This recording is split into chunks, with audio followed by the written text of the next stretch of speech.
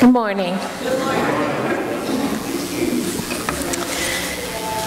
Every now and then, as I am reading the Bible, there's a certain word or a phrase that catches my attention. It's as if God wants me to take special notice, so He keeps bringing it before me over and over again.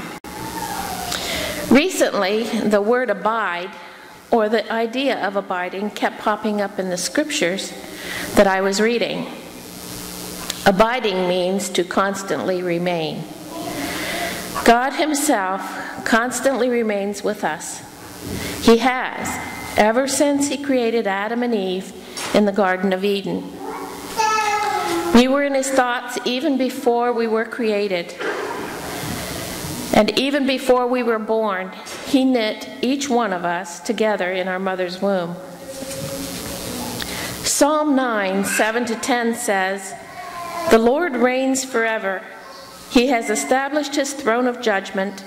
He will judge the world in righteousness. He will govern the peoples with justice.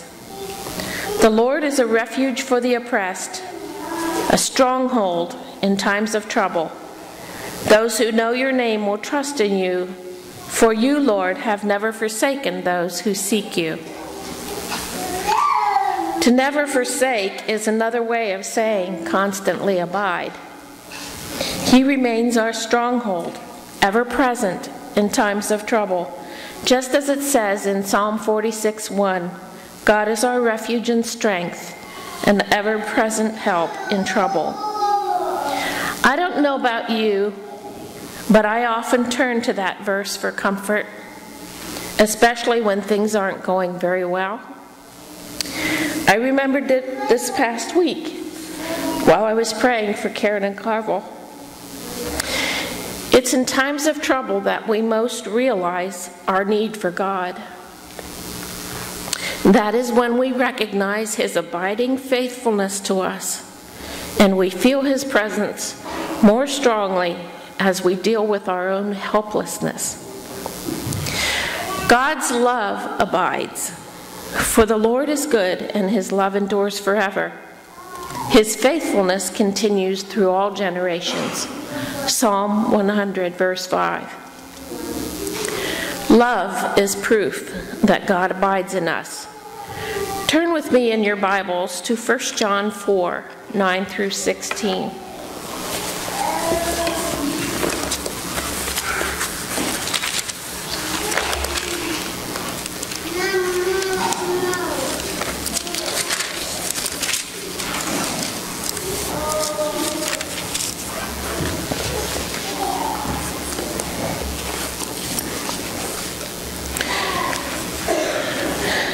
This is how God showed his love among us. He sent his one and only Son into the Lord or into the world that we might live through him. This is love. Not that we love God, but that he loved us and sent his Son as an atoning sacrifice for our sins. Dear friends, since God so loved us, we also ought to love one another. No one has ever seen God. But if we love one another, God lives in us, and his love is made complete in us. We know that we live in him, and he in us, because he has given us of his Spirit. And we have seen and testify that the Father has sent his Son to be the Savior of the world. If anyone acknowledges that Jesus is the Son of God, God lives in him, and he in God. And so we know and rely on the love God has for us. God is love. Whoever lives in love lives in God, and God in him.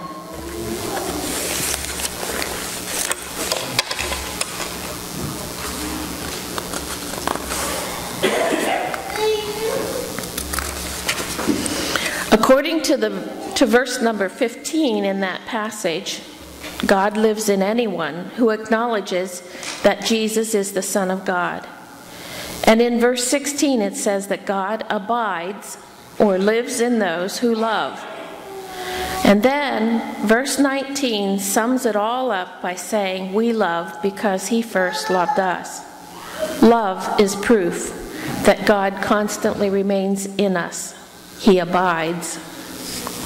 It's also important to remember that God's Word abides. Everything began with God's Word. In Genesis, at the creation of the universe and everything in it, God spoke, and it was so. His Word called everything into being. And John reaffirms it in John 1 1 to 3. He writes, In the beginning was the Word, and the Word was with God, and the Word was God. He was with God in the beginning. Through him, all things were made that were made, and without him, nothing was made that has been made. You will notice that the Word is called He and Him. That is because Jesus is the living Word. Jesus was there at the beginning, helping to create. And then, when the time was right, verse 14 says, The Word became flesh and made his dwelling among us. We have seen his glory, the glory of the one and only, who came from the Father, full of grace and truth. Not only did everything begin with God's word, but there is no end to it. We are born again through the living and enduring word of God. According to 1 Peter 1 23 to 25, all men are like grass and all their glory is like the flowers of the field. The grass withers, the flowers fall, but the word of the Lord stands forever. It is not to be changed or tampered with, or have anything added to it or taken away from its prophecy. Just as the Word abides, we are to abide in God's Word. Abiding in his word makes us true disciples. John 8 31 and 32 says, To the Jews who had believed him, Jesus said, If you hold to my teaching, you are really my disciples. Then you will know the truth, and the truth will set you free. Abiding in God's word bears fruit, and it causes us to love as he loved. Abiding in His Word means keeping His commandments and believing in His Son and becoming true followers of Christ. John writes in 1 John 2 3 to 6 about the importance of abiding in the Word. We know that we have come to know Him if we obey His commands. The man who says, I know Him, but does not do what He commands is a liar, and the truth is not in him. But if anyone obeys his word, God's love is truly made complete in him. This is how we know that we are in him. This is how we know that we are abiding in him. Whoever claims to live in him must walk as Jesus walked. When Jesus tells us in John 15 that he is the vine and we are the branches, he explains that in order to live and bear fruit, we have to constantly remain in Him. In other words, we have to abide in Him. Because without Him, we can do nothing. Our Father God is the gardener, and if we do not bear fruit, we will be like the dead branch that withers and is pruned away and thrown into the fire.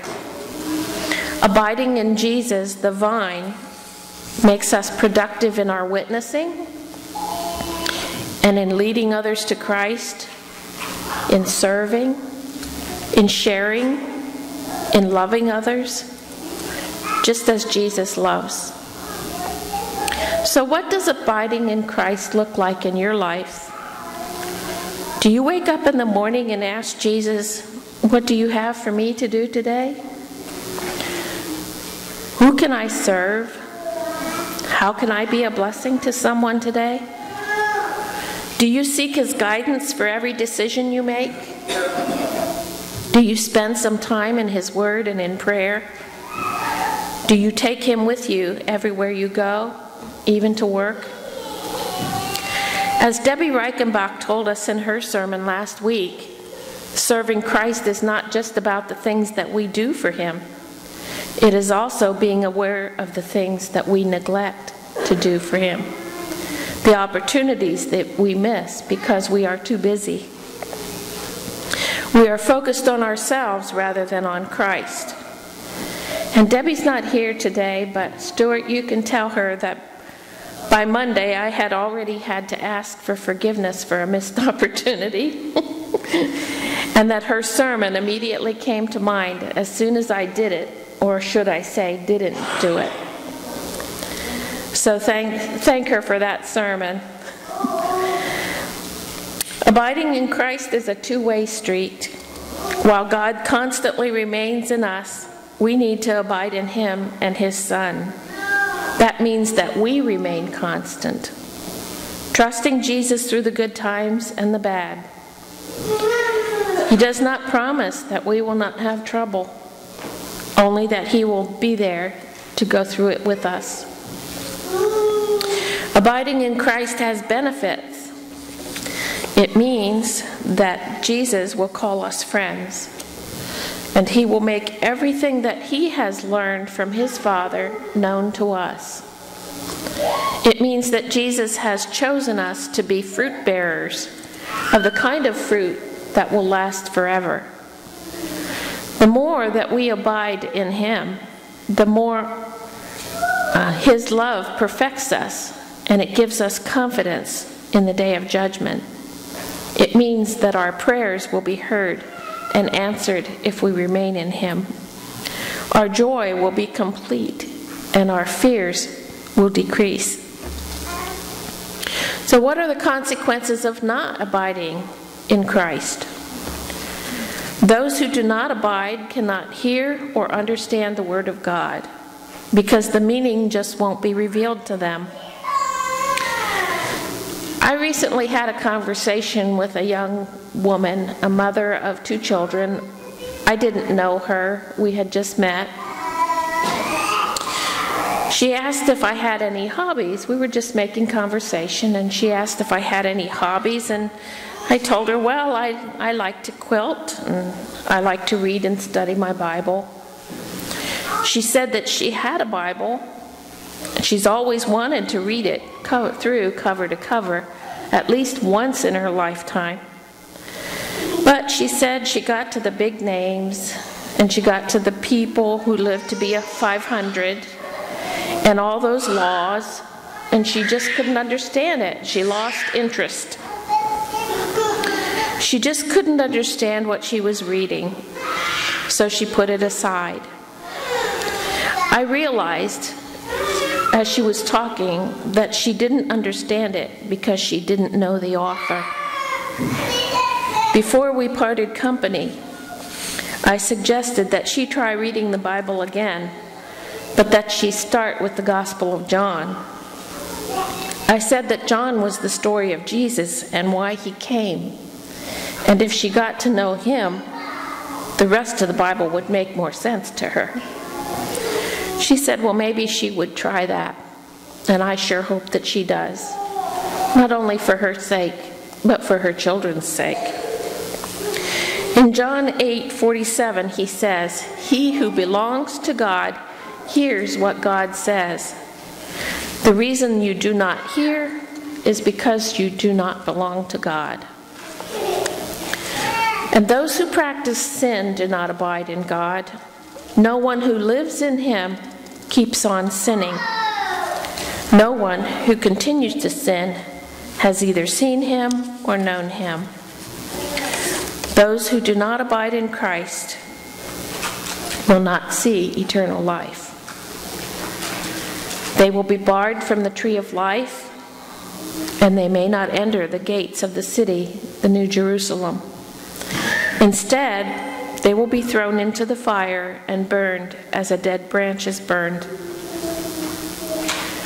The good news is that when we abide in Christ, we constantly remain in Him. The Holy Spirit comes and abides in us. He's evidence of Christ's presence. He teaches us how to remain in Christ, how to testify and witness for Him and he seals us as one of Christ's chosen. Today is the beginning of Advent. the time that we prepare our hearts to receive the Christ child, the promised Messiah. He left the beautiful halls of heaven to come down to earth, to become flesh, and to abide with us. All he asks in return is that we abide with him. Abiding is much more than a once a week commitment, it's an everyday relationship that Jesus wants to have with us.